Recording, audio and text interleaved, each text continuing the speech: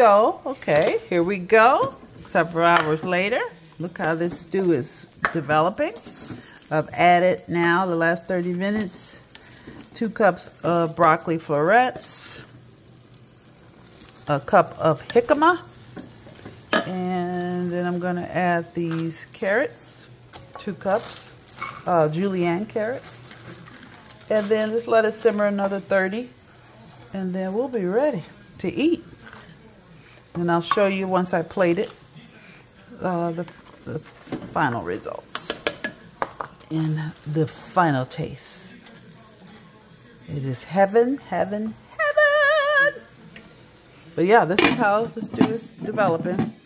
Next time, I will definitely use a lot more meat. We don't eat as much beef, but um, this probably could have spread it a little more. I could have spread it a little more with uh, more meat, like uh, three pounds. The recipe calls for three pounds. I used uh, a pound and a half. That's what I ordered. So um, next time I may do two pounds and just really chop up the meat in fourths. So that helps spread it. I mean, it's the same amount of weight, but at least it would be spread. And in this dish, you get a mouthful of each.